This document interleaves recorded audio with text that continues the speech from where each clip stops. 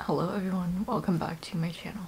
Today I'm going to talk about some of my favorite manifesting techniques and these are especially great if you are feeling frustrated or if you're feeling restless or maybe even hopeless.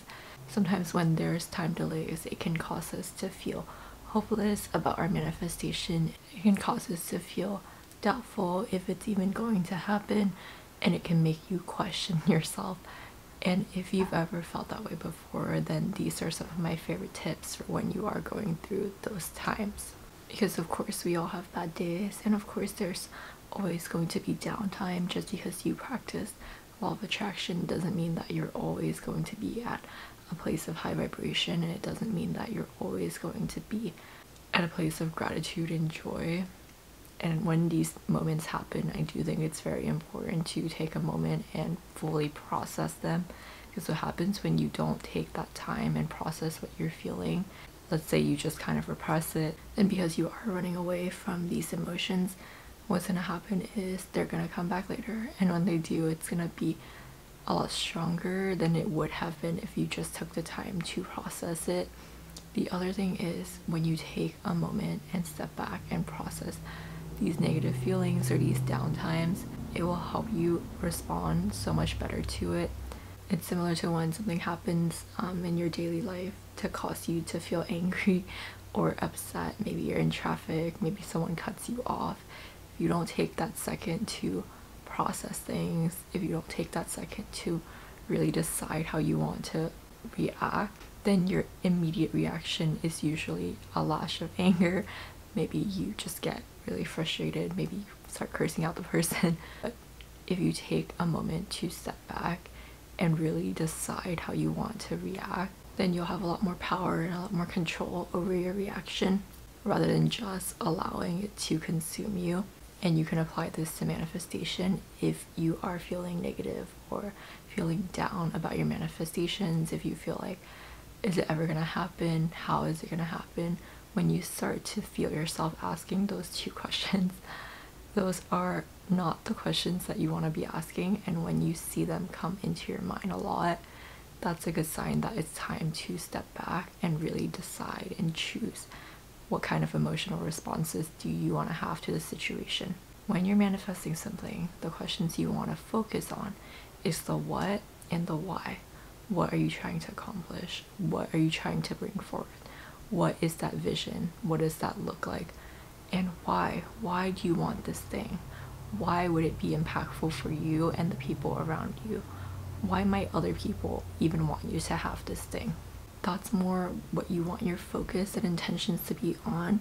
Questions like how and when will distract you from that and can cause feelings of frustration and hopelessness. So when you start to see these come up, one thing that's always really good to revert back to is gratitude, finding things that you are grateful for in your life. I was watching this show and this girl was like sad and her boyfriend was trying to cheer her up and he was like, What are you grateful for? And she was like crying. She was like, My cat. And then he was like, Right, so how can you be upset when you have your cat and you're so grateful for your cat? And she was like, You're right. She's like crying still. And it was so funny, but going back to what you're grateful for can help reaffirm your why and can help realign you onto the right questions, onto the right mindset, and take you out of the feelings of frustration and hopelessness.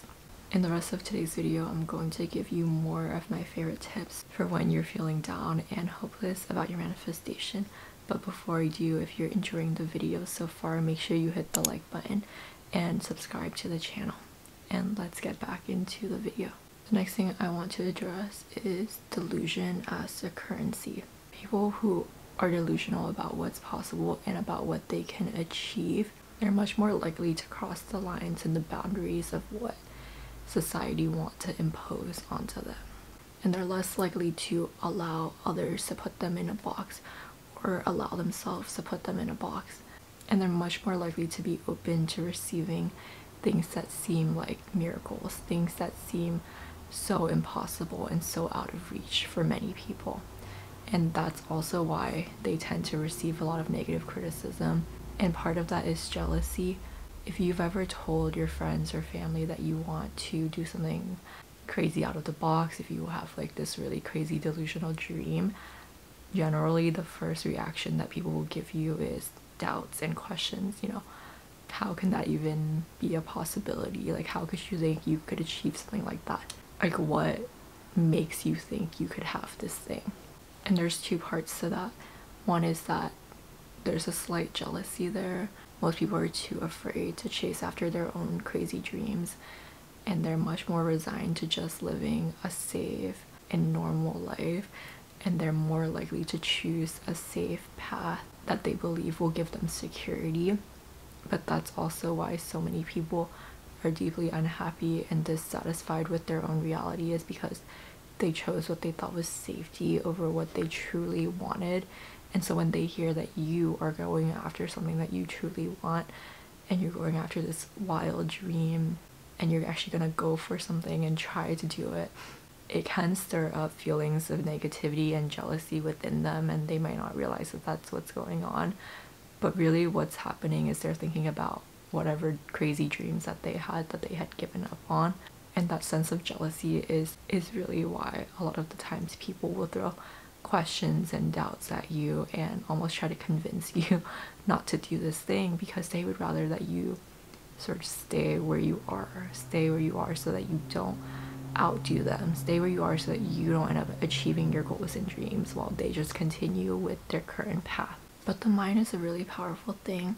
Your reality is only what you perceive it to be but you can truly convince yourself of anything if you have ever lost something and you were convinced that you saw it in your car or whatever. You could picture it you could see it in your mind it was just sitting right there in your cup holder. But then later you find it like under your desk in your house and it was never in the car it was never in the cup holder. And that really strong vivid image that you had was really just something that you made up but you convinced yourself was real and you truly believed it with your whole heart. And that is how powerful the mind can be. You can truly convince yourself of anything. So that's why you have to use that in your favor and use it to your advantage. And when you catch yourself feeling feelings of doubt and hopelessness and negativity, remember how strong your mind is. Remember that is truly your perception of reality and that's your only reality and you can shift and align that to your needs and to your benefit. So don't allow it to run wild. Rein it in and start a practice of getting your mind on board with the vision that you're trying to achieve. And it is a practice, it's not something where you do it once and it's gonna completely change the way that you think. Sometimes we revert back to feelings of negativity, of hopelessness, and it's a continued practice and exercise to get you to align with higher vibrations, to align with positivity and gratitude. The next one is releasing your obsessions and your worries.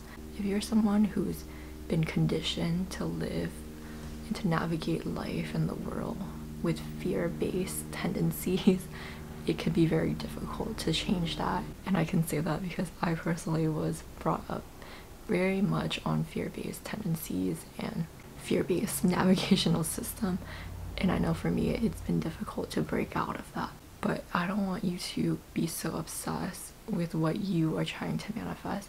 Like you can spend hours visualizing and putting out the right vibrations, but then after that, when you're living about your daily life, if you feel like you're miserable, if you feel like you're just so unhappy in your daily current routine, then that is what is going to manifest because that's your higher output. You're putting out those vibrations for most of the day and you're only spending however long you spend on your manifestation and on your visualization and that isn't going to be enough to counterbalance your general vibrations and your general moods. It's kind of like when you are trying to lose weight and you work out for an hour in the morning but then throughout the day you're just eating really unhealthy junk food and that isn't going to be enough that hour of exercise in the morning isn't going to be enough to counteract uh, your unhealthy lifestyle that you're like living most of the time.